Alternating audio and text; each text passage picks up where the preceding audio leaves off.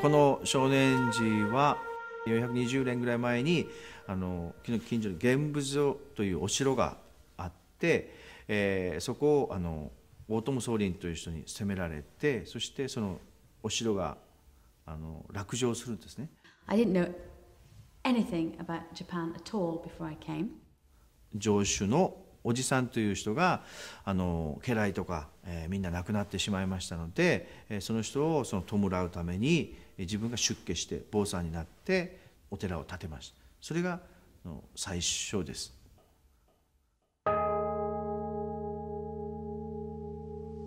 And so I decided I'd go to Japan for one to three years or how long, study Japanese, and then come back and maybe I could get a good job as um, in marketing or PR in a big company in London.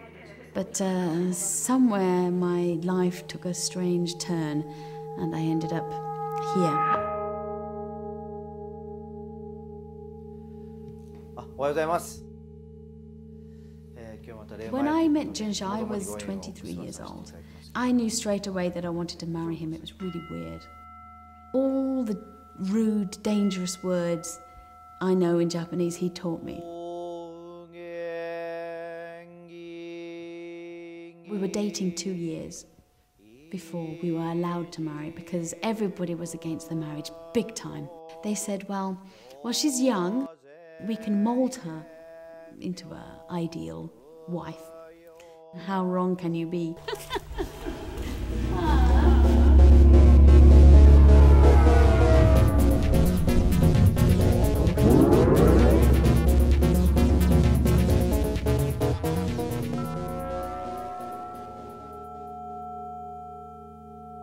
I had our firstborn son within the first year of marriage.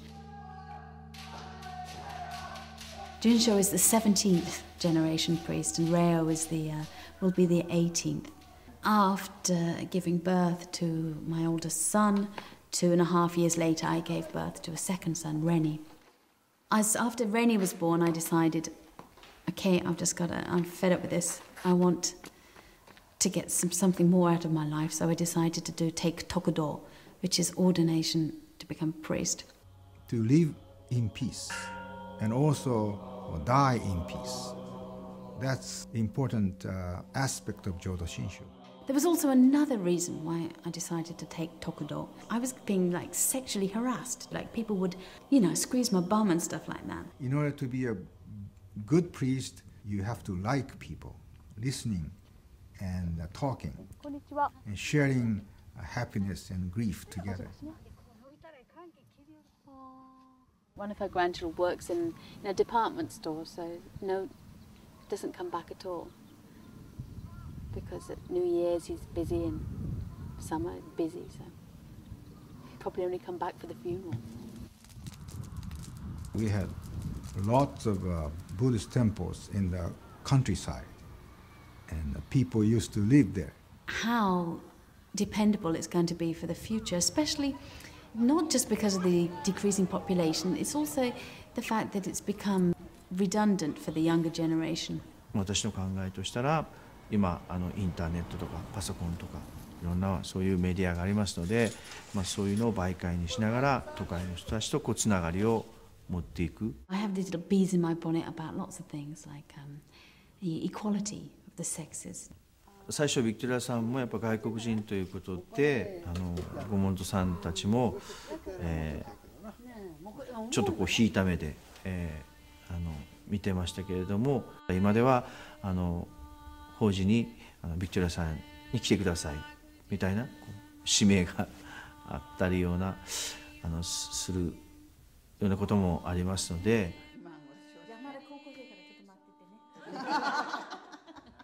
Think the temple has benefited from having such like a wacky temple wife.